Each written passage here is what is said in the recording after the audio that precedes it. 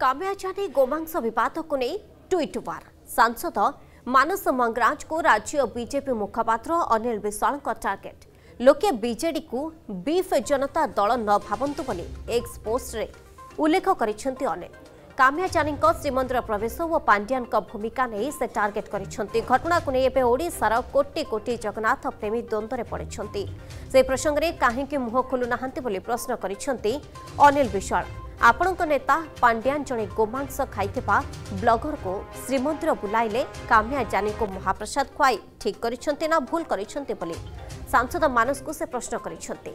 Beef ଖାଇ ଶ୍ରୀମନ୍ଦିର ପ୍ରବେଶ କରିଥିବା ବ୍ୟକ୍ତିଙ୍କ ସପକ୍ଷରେ ଯୁକ୍ତି କରୁଛନ୍ତି ବିଜେଡି।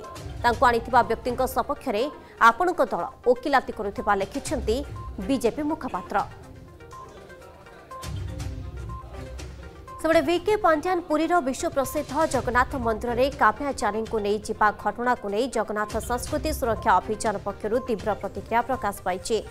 ଭିକେ ପାଣ୍ଡିଆନ ଓ କାମ୍ୟାଚାରୀଙ୍କ ବିରୋଧରେ କାର୍ଯ୍ୟାନୁଷ୍ଠାନ ଦାବି କରି ଜଗନ୍ନାଥ ସଂସ୍କୃତି ସୁରକ୍ଷା ଅଭିଯାନ ପକ୍ଷରୁ ରାଜଧାନୀର ମାଷ୍ଟର କ୍ୟାଣ୍ଟିନ୍ ଛକରେ ଗଣବିକ୍ଷୋଭ ପ୍ରଦର୍ଶନ କରାଯାଇଛି।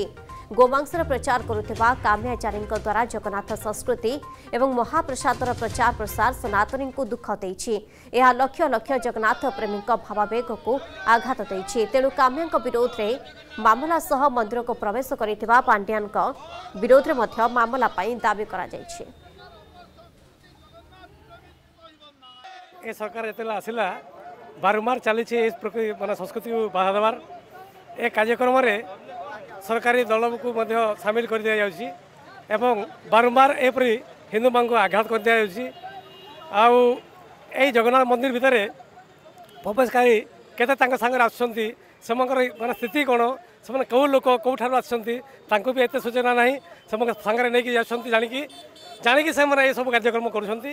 ତେଣୁ ଆମକୁ মানে হিন্দু সম্প্রদায় প্রতি এটা ঘোর অন্যায় হচ্ছে এটাকে আমি বিরোধ করছি এ যে প্রকার ষড়যন্ত্র চালিছি ইয়ে সনাতন হিন্দু ইয়ে হিন্দু সংস্কার এই যে হিন্দু ধর্মকু নিশ্চিত ভাবে এটি নষ্ট করা এ পাণ্ডিয়া শাসন এটি চালিছি আকু আমি কঠোরঘাত করছু আকু আমি ঘোর বিরোধ করছু আমি যে যুব গোষ্ঠী হিন্দু গোষ্ঠী আমি যে আজির যুবপিঢ়ি আকু ঘোর নিন্দা করছু তামিলনাড়ুরে জনে রাজনেতা কহিলে ଯେ ସନାତନକୁ ନଷ୍ଟ କରିଦିଆ ଦରକାର ସମାପ୍ତ କରି ଦିଆଯିବା ଦରକାର। ବିଗତ ଦିନରେ ଆମେ ମଧ୍ୟ ଦେଖିଛନ୍ତି ସେଇ ରାଜନେତା ଏଠି ଆସିକରି ଏଠିକାର ବର୍ତ୍ତମାନ ଯେଉଁ ନିଜକୁ ମୁଖ୍ୟ ବୋଲି କହୁଥିବା ସରକାରର ମୁଖ୍ୟ ବୋଲି କହୁଥିବା ଜଣେ ତାମିଲ ସହିତ ଏଠି ବସିକରି ଯେଉଁ ଆଲୋଚନା କରୁଥିଲେ ଆମକୁ ଲାଗୁଛି ସେ ଆଲୋଚନା ମାଧ୍ୟମରେ ବୋଧହୁଏ ଏଟାକୁ ଓଡ଼ିଶାକୁ ପ୍ରୟୋଗଶାଳା କରିବା ପାଇଁ ସେମାନେ ଭାବିଛନ୍ତି।